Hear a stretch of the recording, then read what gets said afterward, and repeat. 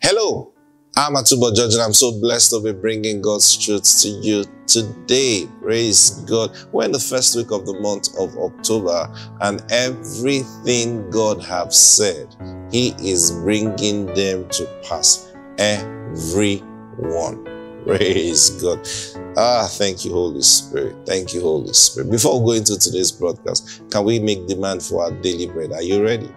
Join me right now. Say, Father, I demand right now my daily bread. It's coming to me in Jesus' name. Amen. Now, when we pray this prayer, we are not praying it. It's not something we are reciting. We release our faith. You know, I'll tell you, I'll tell you something. Everyone who walks with God develops patterns with God. Now, you see those patterns, they become traditions that he will pass down to many generations. You see that now?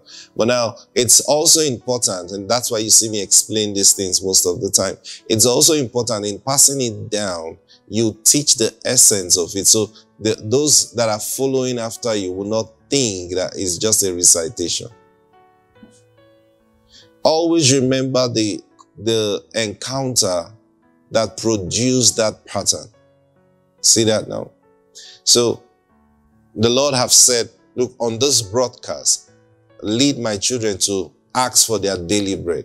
Now, for as many as do this in faith, you will just begin to realize that the, the days of you lacking, they were, they are all, they've gone, they are over.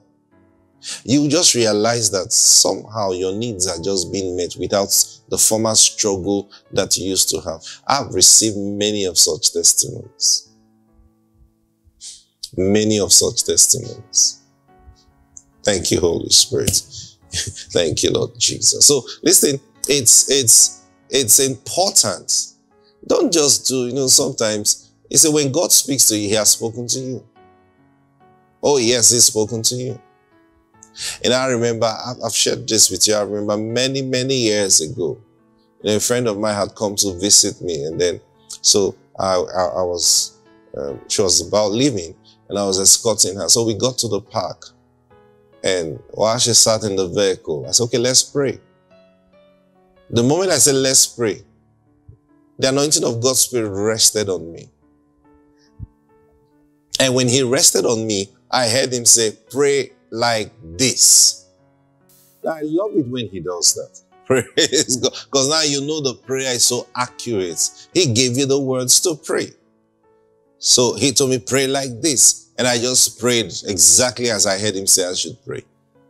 And we bless God. And she left. So I'm like, wow, that prayer, it's so complete and accurate. Then the word of the Lord came to me and said, every time you travel from henceforth, or every time you pray for someone who's going on a trip, you must pray this prayer. Now, that was the word of the Lord that came to me. Now, every time I pray that prayer, I release my faith in it. I'm not just doing a recitation because I know the power of that trip, the power to keep that person safe or keep me safe on that trip is in these words I just declared. I know that. Now you see, that's how he comes. That's how the Spirit of God speaks to us. And when he does, you take his word and obey him. That's all he calls you to do. Obey him. So when he told me the same way he spoke to me concerning this broadcast, said from henceforth, every day on this broadcast, you must lead my children to make demand for their daily bread. See, so I have to obey him. Now he said, lead my children. So you learn to follow. Don't just, mm, mm, amen. No, I, I demand, say it, I demand for my daily bread, for my daily bread just the same, whatever I say, you should say. It's now you are showing that you believe. And let me tell you how this works. I don't mind spending time on this. let me tell you how these things work. He's giving me the command. And because he's giving me the command, now before he even gave me the command, remember David said, for he has given his angels charge concerning me to keep me in all my ways. Now he gave them charge. So before he gave the command, he has already given the angels charge. And, and what is the charge? My children are going to pray like this. And when they pray like this, make sure you minister to their needs. Now, you see, this is it. You are a child of God. You love God so much. And the word of the Lord has come to you and says, every day pray like this. And then you say, ah, okay, you pray the first day, you pray the second day, and then next day, and but God knows now. God knows what I need now. So He knows, but the angels don't know. Oh, yes, they don't know. The command they have received, and this is how these things work. The command they have received is when you hear them pray like this, respond like this. Make sure their needs are met. Now, here you are I'm saying, let's pray together. And then you go, mm, okay, he's, he's praying. Amen, amen. All they, they hear you say is amen. To what? They don't know. And don't assume they know. Angels are not omniscient. They only know what they have been told. So when they come to walk with you, you must be in tune with the Spirit of God. The Spirit of God will tell you what to say. The Spirit of God will tell you what to do. Now, when you obey the Holy Spirit, the angels will see you do what they have been commanded to look out for. And when they look out, this is how to live in peace and with ease. You are dressing up in the morning. He says, in all your ways, acknowledge him and he will direct your path. Who will direct your path? Not the angels. The Lord will direct your path. How does he direct your path? You are dressing up in the morning and you want to wear that blue shirt. And you say, oh, Lord, what do you think about this blue shirt? Says, ah, you be asking God for shirt? Yes, in all ways. What does it mean all your ways? All your decision making process, all your decision making ways. Uh, which, which way are your ways? Your decisions. So when he says in all your ways, he's talking about in all your decisions, acknowledging.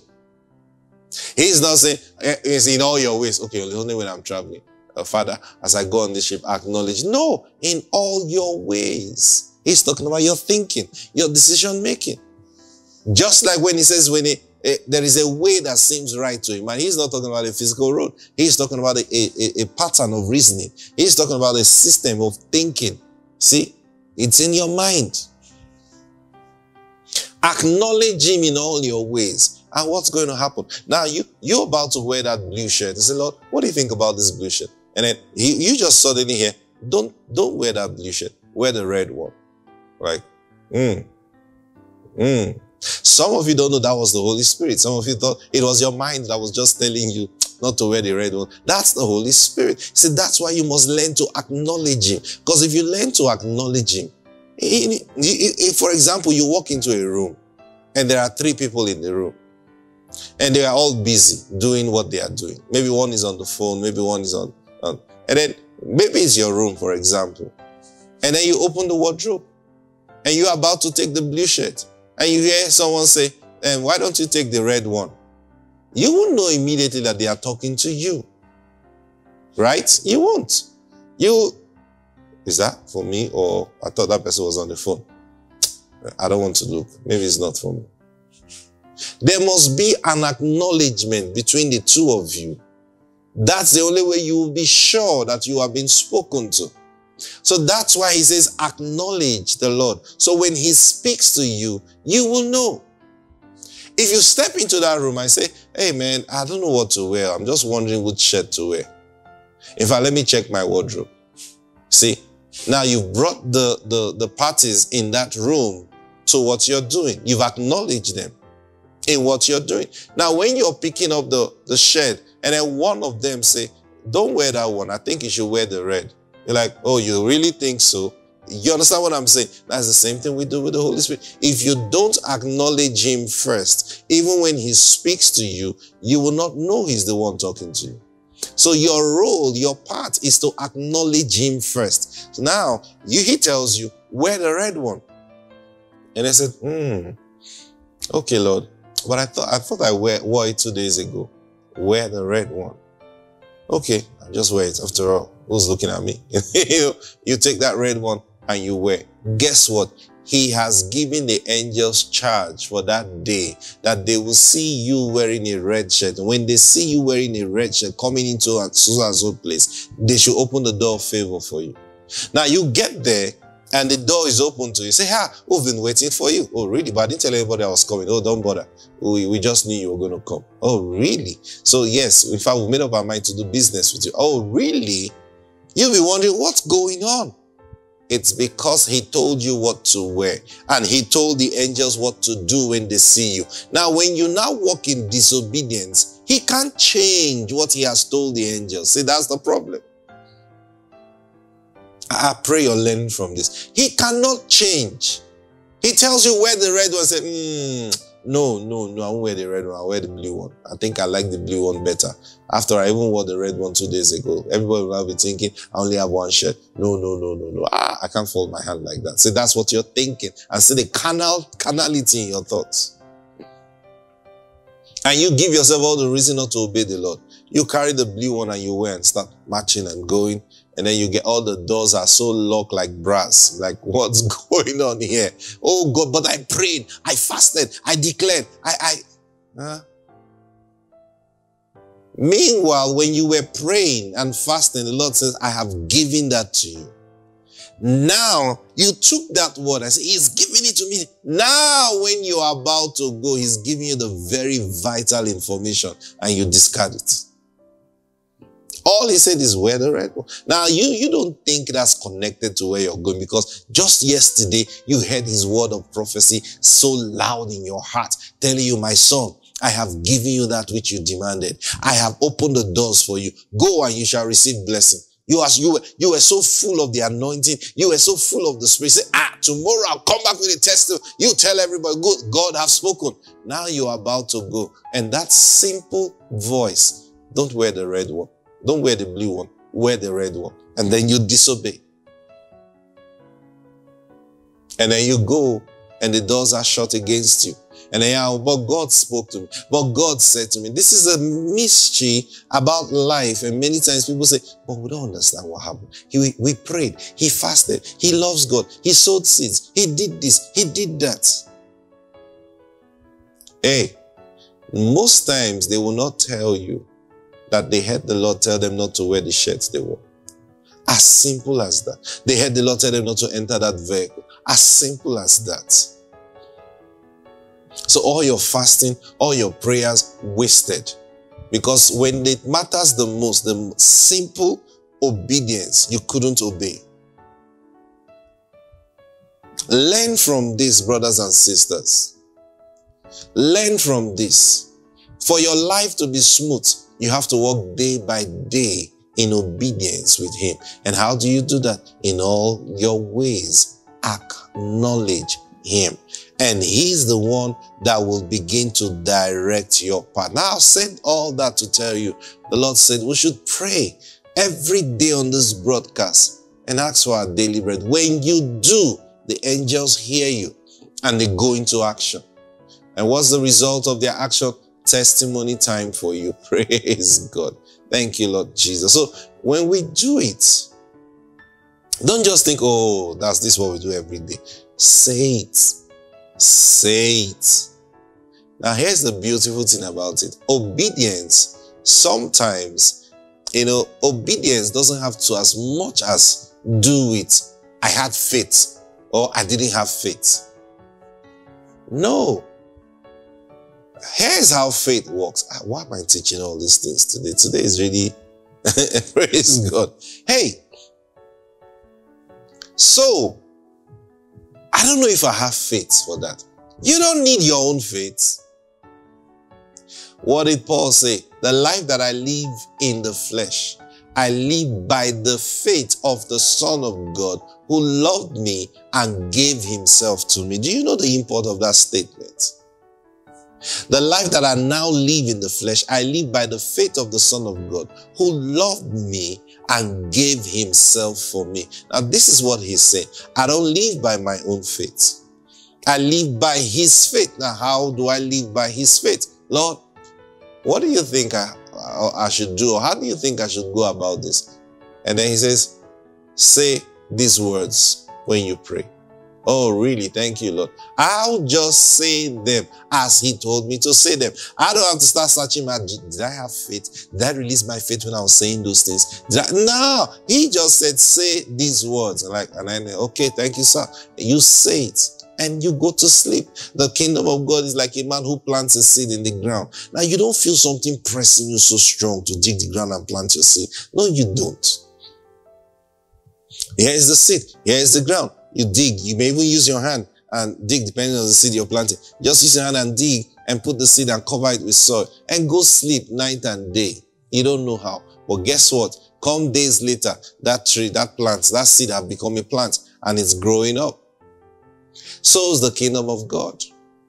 How? The Lord tells you, do this. Yes, sir. You don't have to feel like it. You don't have to feel goose pimples or goosebumps on all over your body. You don't have to feel all that but he told you knew what you heard. And he said, Yes, sir.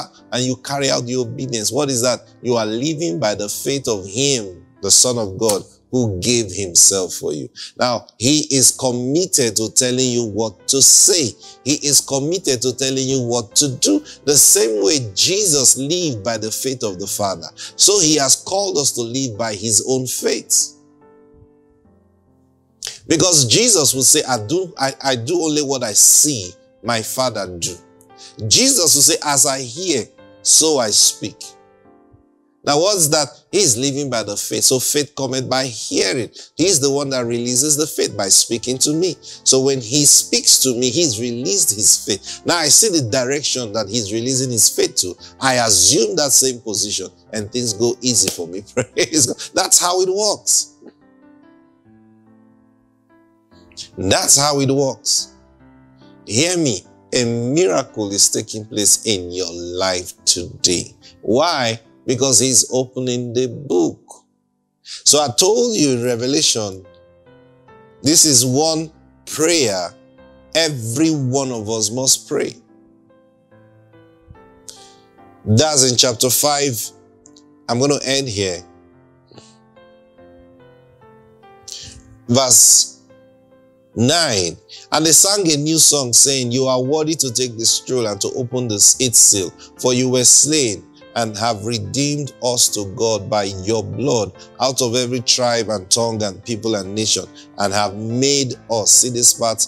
You see this part? You must, you must make it bold. If you want to write it, if you want to write it somewhere, you can be seeing it all the time. Please write it. See this part, verse 10. Revelation chapter 5 and verse 10. And have made us kings and priests to our God, and we shall reign on the earth. I'm telling you, write this part. This is the key that is going to unlock you into the life of the, that which God have written for you. He has made. He have made us kings and priests unto our God, and we shall reign on the earth. Praise God. My time is up for today, but I'm going to pick up from here tomorrow. I pray the Spirit of the Lord open your understanding today. That you will learn and see what the Lord is opening your eyes to see and learn. In the name of the Lord Jesus Christ. Thank you, Lord. In Jesus' name. Amen. I'll see you tomorrow. Bye.